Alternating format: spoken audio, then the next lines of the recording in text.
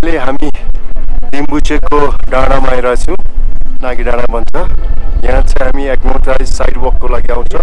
यो तपाईँले देख्ने चाहिँ आमा डब्लु अनि तल इन्डाज चाहिँ खोला भयो।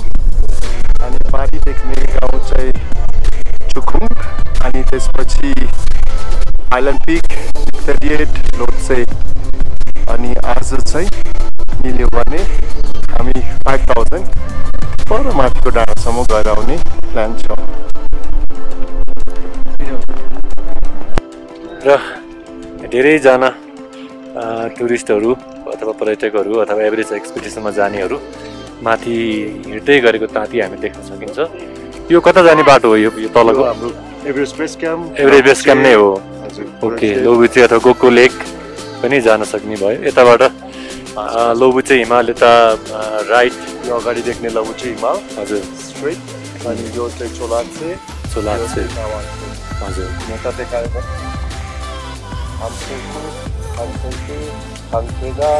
अनि यो आमा डब्लङ आमा डब्लङ यतापट्टि island peak peak thirty eight बुचे गाउँ र थामसेरकु खान्तेगा कोङ्गे हो र यहाँ हुनुहुन्छ हाम्रो कृष्णजी साइडवकमा आउँदैछु उहाँले खुसी नै देख्नुहुन्छ सबै दाँत देखेको छ ल यही हो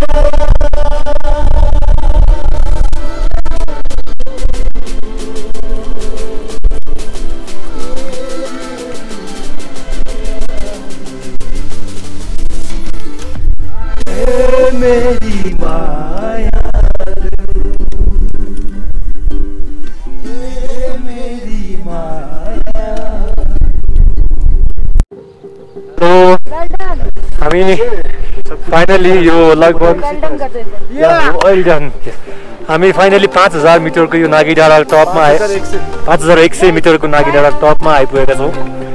हामी बिहान चार हजार तिन सय सत्तरी मिटरको हाइटबाट अ, हिँडेका थियौँ। अ, आज हिजो मलाई एकदमै हिजो रातिबाट बिहानसम्म एकदम टेरिबल हेडेक भएको थियो। म त आज कहीँ जानै सक्दिनँ होला। सोचेको थिएँ यहीँ बस्छु। तपाईँहरू जानुहोस् भनेको थिएँ मैले हाम्रो टिमको अरू अरू अरू मेम्बरलाई पनि। तर उहाँहरूको सपोर्ट केयर अनि मोटिभेसनले ए म मेरो हेडेक पनि कम भयो। एउटा फ्लेक्जन र यसमा प्राजोल अनि वन्डेन सेट्रोन लिएँ। र त्यसपछि यहाँ आउन सफल भएँ। त्यसले मलाई एउटा कन्फिडेन्स पनि कन्फिडेन्स पनि मेरो अलिकति बुस्टअप गरेको छ। यो एक प्रकारले हामी एभरेस्ट सबै स्टाइलमा तलबाट हामी हिँडेका थियौँ। हामी कति टाइम लाग्यो हामीलाई हिँड्नु? टु आवर फिफ्टी मिनट हामी उकालो पुरै सात सय metre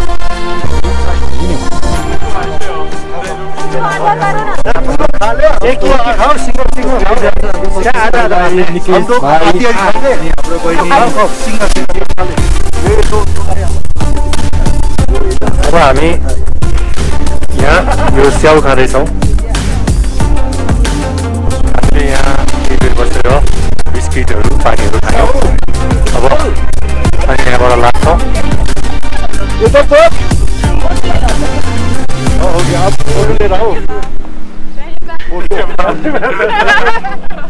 Czech Republic. And Slovakia. ल अब हामी लाग्छौँ यहाँबाट तल यता एभरेस्ट बेस कम्प्युटरतिर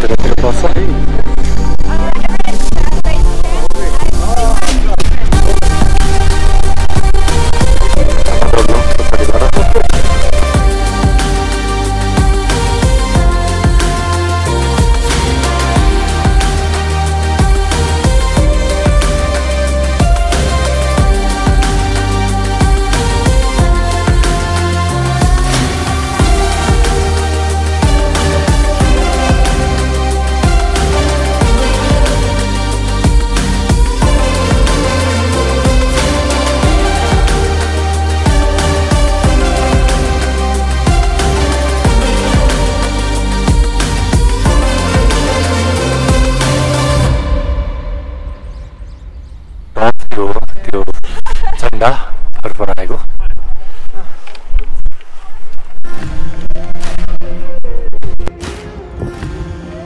हामी अहिले यो दिबुचे बजार भनौँ न के अरे दिङ्बुचे बजारसम्म गएर आउँछौँ। भोलि हामी जाने यो बाटो होइन हामी तलैबाट जान्छौँ।